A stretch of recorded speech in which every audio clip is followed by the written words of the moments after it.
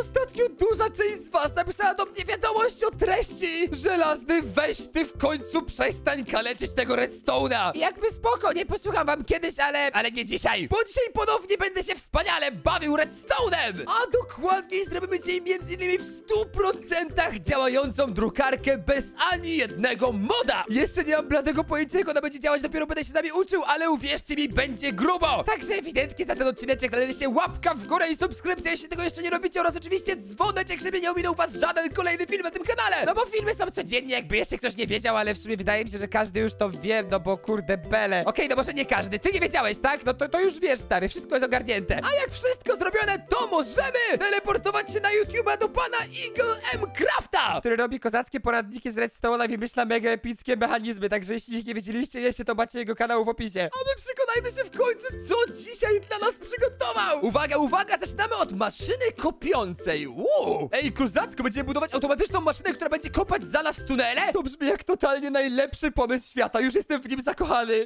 Okej, z tego co widziałem po blokach, jakie on wykorzystuje, prawdopodobnie ta maszyna będzie wyglądać dosyć podobnie jak ta wyrzutnia TNT, którą już kiedyś robiliśmy. Ale, ale spokojnie, będzie ona o wiele bardziej skomplikowana. Już teraz tu widzę, jest tu pełno detektorów, pełno bloków miodu, pełno pistonów i pełno różnych dziwnych innych rzeczy, a to dopiero początek budowy. Kurde Pele, no zgaduję, że to co nam zbudował z tyłu służy temu, aby to coś się poruszało, znaczy ta maszyna się poruszała. Tak to przynajmniej wygląda, nie? Jeden piston w te, jeden w te, także no, na, na to to wygląda, no. O, a to co teraz robi, to jest kopiowarka TNT, kojarzę ją, robiliśmy ją już dwa razy. I jak sama nazwa wskazuje, kopiowarka TNT będzie kopiować TNT.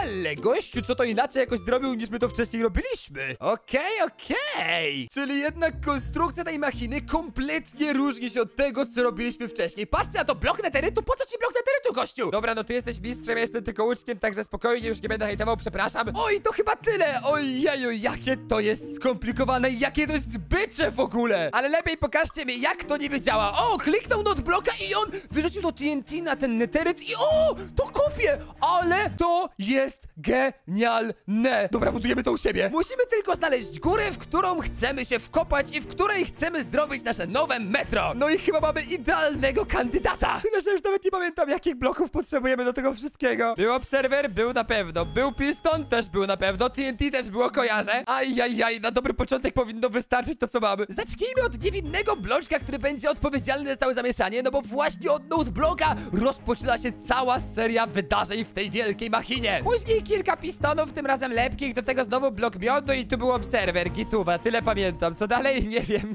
Ej, nie no dobra, czym dalej w las, tym to prostsze. Wydaje mi się, że już powoli to zaczynam ogarniać, także nie jest źle. Byleby tylko zrobić kopiowarkę TNT, która będzie dokładniej w tym miejscu i prawie wszystko będzie gotowe, no voila! Swoją drogą to jest ultra dziwne, że oni chyba od roku nie naprawili tego baga, że można kopiować TNT za pomocą wachlarza. Znaczy korelowca, żadnego wachlarza. No ale jak nie, to nie, no najwidoczniej tak ma być. Wiecie, no kurde, ja narzekać nie będę. Mi się to bardzo podoba i mi to jest bardzo na rękę. Tym bardziej, że właśnie teraz skończyłem moją magiczną machinę.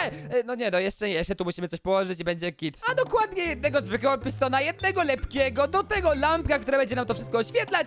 No i oczywiście na samym końcu bloki neterytu. Cokolwiek one tu nie robią. Czy ja mogę dać tu obsydian? No bo kurde, no kto normalny by wykopał tyle bloków neterytu? A dobra, nie mogę dać obsydianu, bo obsydian się nie rusza pistonami. A więc niestety, jeśli chcecie mieć taką maszynkę, musicie być bardzo, ale to ultra bogaci. A potem to już chillera utopia. Stajecie sobie na bloku miodu, klikacie i uwaga! Czy nasza maszyna działa? O nie, nie działa. O kurde, bele, zepsułem. Nie, totalnie proszę, nie! Nie! E, Nie było tematu, nieważne, dajcie mi chwilę. To do góry powinna być półpłytka, a tu powinno być to. Wiecie, te moje poradniki są najgorsze na świecie, nie proszę! Odpaliłem, nie, a tylko nie to! Normalnie słów brak na to, jaką lamą jestem w tym redstone, ale tym razem już cię musi udać. Wszystko jest idealnie, także machino, ruszaj! Tak, działa! Wyrzuciło TNT na koniec naszego black... Już nawet się poplątałem. Jak to kliknę, to wyrzuca TNT na koniec naszej magicznej rurki, która jest zbudowana z neterytu, która jest automatycznie naszym wiertłem, które kopie idealnie piękną dziurę, a więc nasza piękna machina oficjalnie działa i ma się wyśmienicie. Jestem ciekaw, jak wielki tunel można dzięki temu wykopać. Lecimy z tym koksem, kopiemy! To totalnie wygląda, jakby to była jakaś ultra mega ważna operacja, polegająca na przekopaniu jakiejś wielkiej góry, ale nie! To jest po prostu głupi mechanizm, który pozwala drążyć tunel. ja nie wiem, czy jest jakikolwiek sens budowania tego na survivalu. Jeśli wam się nudzi, to to jest doskonała zabawka na to, żeby urozmaicić sobie grę. Nie no dobra, przyznaję, to jest super. Może się tym bawić przez co najmniej 15 minut, nie zepsułem, zepsułem, zepsułem, przepraszam, nie chciałem. Ehem, także uważajcie na swoje maszejki. Nie klikajcie zbyt szybko, bo się zepsuje. Dobra, no przyznaję, to był świetnie spędzony czas, ale czas zabrać się za drukarkę, bo właśnie po to tu przyszedłem. Chciałem zobaczyć, jak zrobić w pełni działającą drukarkę bez żadnych modów, za pomocą tylko tych bloków, które widzicie właśnie teraz na ekranie. Jeśli to naprawdę będzie działać, to mój mózg wywali w kosmos. Bloki żelaza, okej. Co z nich za kształty robi? Halo, gościu, czemu robisz kształt creepera? Co jest z tobą nie tak? Ej, no dobra, to może będzie ten kształt, który ta drukarka będzie drukować, także spoko. Póki co nie hejtuję, jest git. Bardzo dużo pistonów, ale to bardzo dużo pistonów. Na co komu tyle pistonów? No jedynym sensownym powodem jest zbudowanie drukarki. To będzie chyba idealny mechanizm dla każdego, komu się bardzo nudzi i ma za dużo pistonów w domu. Ale nadal nie wiem, po co był ten wzór creepera tam na dole. Oho, ho, do czarnego dokładamy teraz zielony. Nie no, teraz to się układa w całość, także jeśli wydrukujesz na tym zielonym, ta twarz creepera, która była na dole,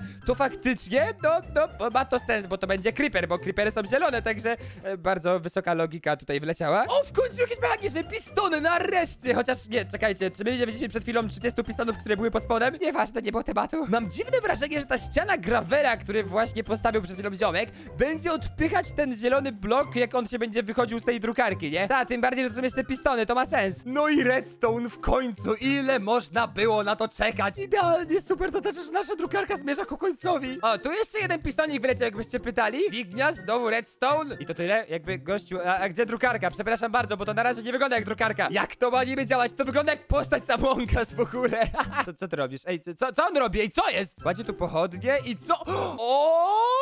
O, okej. Tego się nie spodziewałem. Ty, no to faktycznie będzie działać, no nie. Dawaj, stary, pokaż to, pokaż to szybko. Postawił pochodnie, po czym je zniszczył. Nie, no spoko. Ale uruchamiaj tą drukarę, dawaj, gościu. Klikaj, klikaj, klikaj, klikaj, klikaj. Dźwignie? No to może być najpierw dźwignia, git. A nie, włączyłeś ją tylko po to, żeby ją wyłączyć. Nie no, genialny jesteś. O, o, mamy to. Nasza drukarka działa i co? I wydrukuje creepera. No way, to się nie dzieje. To naprawdę działa, to jest genialne. Totalnie w życiu bym na to w ogóle nie wpadł. Kurde, no teraz jak to zbudować? Mam idealne miejsce pod moją przyszłą wielką drukarnię. Albo też jedną drukarkę, bo w sumie w drukarni jest więcej drukarek niż jedna, nie, nieważne. To jest mata o wielkości 6 na 9 na której możemy zrobić dosłownie co chcemy, aby wydrukowało się właśnie na naszej kartce. No dobra, no to co chcemy? Kusi odwrócona literka T, ale nie, nie, nie, jesteśmy dorosłymi ludźmi, nie bawimy się w takie rzeczy. To wygląda jak łapka w górę, nie, to wygląda, ja nie wiem jak to wygląda, to jak nic wygląda, ja nie chcę już. Dobra, drukuję wielkie XD Yellow. Przykryłem go już warstwą jakiegoś bloku, ale teraz czas na najważniejsze, czyli na stworzenie czegoś, co będzie faktycznie wydrukowywać to na kartce, a raczej na wełnie. Czyli no po prostu trochę tłoków. Na pistonach znowu warstwa izolująca, a na warstwę izolującą kładziemy już właściwy atrament. Jejku, jakie profesjonalne nazewnictwo, tak stawiam atrament w Minecrafcie, dokładnie. Po atramencie, proszę państwa, czas na kartkę, ale moja kartka nie będzie zielona, tylko różowa. No bo wiadomo, różowy to najbardziej męski kolor, idealnie pasuje. No i dzięki temu główna część naszej drukarki jest już gotowa. Pozostało tylko dodać na wysokości różowej wełny dużo pistonów, które będą popychać gravel, zrobić zegarek z tyłu, no i voila! Tyle z tym zabawy, a wystarczyłoby najnormalniej w świecie napisać X i T na wełnie i to by byłoby już wystarczająco dużo. Ale nie, zróbmy pełnoprawną drukarkę w Minecrafcie. Świetny pomysł, panie żelazny. Co jest ze mną nie tak? Czemu ja to w ogóle robię? Trochę to tam uprościłem, ale powinno na luzie działać. Wystarczy tylko na czystej kartce, którą tutaj widzicie. Tam dokładnie, a już w sumie nie widzicie. Wydrukować za pomocą czerwonych podni wzór. Lecimy z tym koksem! Hop, hop, hop, świetna zabawa, naprawdę. Teraz to jeszcze zniszczyć, nie no normalnie, kurde bele, lepiej się nigdy nie bawiłem. Efektów co prawda jeszcze nie widać, ale wystarczy, że kliknę ten guzik, którego tutaj nie ma i nasza drukarka ruszy! O nie, nie kliknąłem zegarka, czekajcie, już to robimy! Drukarko, ruszaj z tym koksem! Drukuję, widzicie, to jest nasze XD, wychodzi powoli z tej pięknej dyszy, czy tam dziury, cokolwiek to jest. Jest i ona najpiękniejsza rzecz, jaką prawdopodobnie w życiu zrobiłem. Totalnie ta drukarka jest bezużyteczna, zgadzam się, ale jeśli zbudujecie coś takiego na swoich znajomych i pozwolicie wybrać im dowolny wzór i pokażecie im, jak to się drukuje, to dosłownie gwarantuję wam, szczena im opadnie. No chyba, że widzieli już ten odcinek, to wtedy im szczena nie opadnie, bo już będą wiedzieli, czego się spodziewać, ale liczmy na to, że go nie widzieli, okej? A po wszystkim wystarczy opróżnić drukarkę z wydrukowanego tuszu, zamontować nowy gravel, zamontować nową kartkę i możemy drukować w nieskończoność. Dobra, wystarczy już tego dobrego, lecimy dalej, bo to nie była ostatnia rzecz w tym odcinku. Oj, nie, nie, jeszcze sporo przed nami. Jednak tym razem obiecuję wam, że mechanizmy, które zobaczycie będą bardziej sensowne, prostsze i takie, które naprawdę będziecie mogli wykorzystać w swoim świecie. To na przykład jest automatyczny magazyn, który pokaże wam światełkiem, kiedy dana skrzynka będzie już zapełniona. I co najlepsze, do jego budowy wcale nie potrzebujemy dużo bloków i jest on bardzo malutki, kompaktowy. No dosłownie, no trochę hopperów, trochę komparatorów, trochę redstone'a i tyle, nie? Tu jeden komparator, czy jak to tam się nazywa? Tu drugi, do góry pewnie trzeci, no i jelo, skończone. Albo nie, nieważne, tylko te dwa nie było tematu. Ty, no ale po co tu jeszcze ich więcej? To nie czaję. Myślałem, że to już będzie wystarczająco dużo. Dobra, no niech będzie, jak dadzą, to biorę, nie? To zjemy. Znaczy, e, tak, tak, super, że to robimy. Koniec, tak, już możemy to zobaczyć? Bo ja bym chciał to zbudować u siebie i wytłumaczyć, jak to zrobić, a ty nie musisz mi tego tłumaczyć, gościu, okej? Diamenty, diamenty, uuu, o, fajnie. Zapełniło tylko jeden slot, więc światełko się nie zapaliło, ale w momencie, kiedy gościu zapełni wszystkie sloty, to uwaga, światełko się zapali, czy zapali się, czy nie zapali się? Pro, proszę gościu, czy mógłbyś... A, jeszcze tu musisz zapalić, dobra. Czyli hopper musisz jeszcze wypełnić, dobra, i teraz się powinno zapalić, no kituwa. Sztosik, czyli taki magazyn w sumie na jakąś farmę, nie? Żeby zawsze wiedzieć, kiedy wasza farma wyprodukowała wystarczająco dużo materiałów, żeby chcieć się w ogóle ruszyć z domu, z łóżka i iść je zebrać. To by świetny pomysł. Jejku, no na pewno lepszy pomysł od budowania drukarki przez godzinę, po czym wydrukowanie jednej kartki. Nie poruszajmy już tego tematu, to jest temat zamknięty, jakby naprawdę już nie chcę tym pamiętać. Teraz, panie i panowie, skupmy się na magazynie.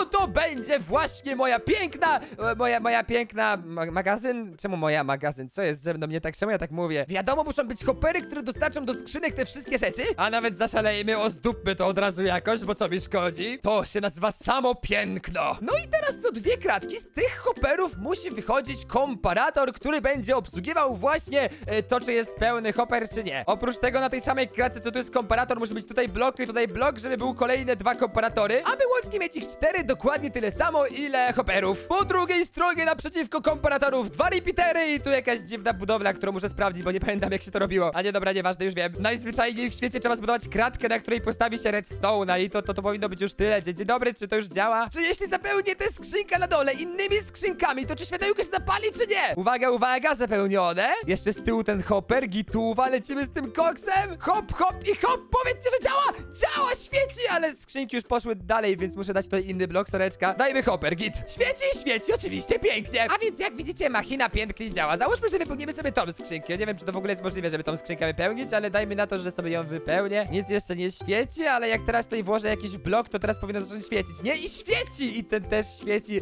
No, no trochę to zbugowane, umówmy się, ale to powoli przychodzi tam na dół, wiadomo. Ta, ta, zepsułem mechanizm. Ale jeśli na siłę nie chcecie go zepsuć, to uwierzcie mi, działa. I no szczerze mówiąc, bardzo chętnie zbudowałbym to sobie na jakąś farmę, wiecie? Wtedy, tak jak mówiłem wcześniej, widziałbym ile na przykład sianka zostało zebrane i mógłbym iść po zbiory dopiero wtedy, kiedy będą trzy skrzynki. Chociaż w sumie po co mi trzy skrzynki siana? Dobra, nie było tematu. O, za to jest sekretna baza, no bo w końcu co to byłby za odcinek bez sekretnej bazy? Za Cauldronem podobno, no dobra. W sensie nie wiem, ale tak jest w tytule. Secret Cauldron Base, czyli baza za tym kociołem. Brzmi jak totalnie odjechany pomysł, już się nie mogę doczekać. Dwa lepkie pistolety tu wleciały, jeden tutaj, jeden kratkę niżej, jeden Cauldron, jeden blok podłogi, parator, jeden, drugi, kolejne bloki, kolejne redstone, co się dzieje? W ogóle gubię się już powoli. Ale że naprawdę zbudowałem drukarkę, a gubię się w czymś takim prostym. No pokażcie mi jak to działa, no. Jest ściana, ale to wejście póki co nie jest ukryte, także no coś jest nie tak. Weź je ukryj, gościu, dawaj, no wstaw tutaj, o właśnie, idealnie. O, wow! To się razem z podłogą przesuwa, ale to jest dobre. Tego kompletnie nie widać, to jest... To jest najlepsza kryjówka, jaką w życiu widziałem. Kompletnie, szczerze. Wow! Robię to na ferajnie, nie ma innej opcji. Ale zanim zrobię to na ferajnie, udajmy, że chciałbym ukryć ten magazyn, który przed chwilą zbudowaliśmy. Tu będzie piękna drabinka i właśnie ten magazyn chciałbym ukryć. Pozdrawiam cieplutko. Zrobimy od razu ścianę, żeby się potem z tym nie męczyć. No i teraz zacznijmy już na porządnie od dwóch lepkich pistonów, które powinny być chyba, jeśli dobrze kojarzę, jeden tutaj i drugi tutaj i ten drugi powinien trzymać cauldron. Pięknie, idealnie. No i teraz już wiadomo z górki. Jeden komparator, drugi komparator, jeden blok, drugi blok gdzieś tutaj. Trochę redstone'a, który za to wszystko jest odpowiedzialny, jeden przekaźnik, no i to powinno być więcej tyle. Tyle, że ten przekaźnik powinien mieć sygnał na maksa ustawiony, czyli na ten czwarty tik, jak to się tam nazywa. No i łączymy tylko to z tym i to powinno już idealnie działać. Proszę powiedzcie, że tak, bo jeśli nie, to nie wiem co zrobię. Dajcie mi wodę, proszę, działaj, działaj, działaj, działaj, działaj i... O! To jest genialne, to jest cudowne, to jest piękne. Wylewam wodę i co? I otwiera się wejście do naszego magicznego, tajnego magazynu. Gorzej tylko jak zalejecie się od dołu i wtedy stąd nie wyjdziecie, także radziłbym uważać. Ale kompletnie szczerze, to jest chyba najlepiej ukryte, tajne przejście, jakie widziałem ostatnio. Przecież tego tak kompletnie tu nie widać. Jeśli dodać by tu jeszcze kilka narzędzi, to nie ma szans, że ktokolwiek skapnie się, że w tym miejscu jest jakiś magiczny schowek. O na przykład dajmy tutaj coś takiego, tutaj coś takiego, tutaj jakąś beczkę, jedną, drugą, trzecią, czwartą. No i pięknie, no czy wy byście w ogóle wpadli na to, że tam coś może być? No oczywiście, że nie, ja też bym nie wpadł, kurde no. A jednak tam znajduje się tajne przejście, to się nazywa mieć łeb. Polecam wam zrobić na jakimś serwerze, żeby wasi znajomi pod żadnym pozorem nie znaleźli waszych diamentów i wtedy gwarantuję wam, jesteście ultra bezpieczni. No co, no napiszcie koniecznie w komentarzu, który z tych wszystkich mechanizmów, które wam pokazałem, był według was najlepszy i który najbardziej zrył wam banie. Macie w opisie link do Eagle M Crafta, który wszystkie stworzył, zapraszam mega serdecznie. A my widzimy się jutro o 15.30, bądźcie na premierze, siema! A no jeszcze możecie jeszcze wbić na Instagrama, no bo czy- czemu by nie, nie? No wbij, no proszę, no. No dobra, no jeśli już nie chcesz wbić, to wbij chociaż na któryś z tych dwóch odcinków, które widzisz właśnie teraz przed sobą, albo na mój drugi kanał, który już wkrótce startuje, więc możesz go subskrybować, zobaczysz go po prawej stronie tam na dole, także e, klikaj subskrypcję, albo klikaj ten filmik wyżej, bo też jest fajny, no, no jakby to jest obowiązek twój, przepraszam bardzo, ja cię zmuszam, to jest rozkaz! Tak, to, to dokładnie, rozkaz, no, nieważne, jakby i tak nie kliknęłeś, także super jesteś, nie się, cześć.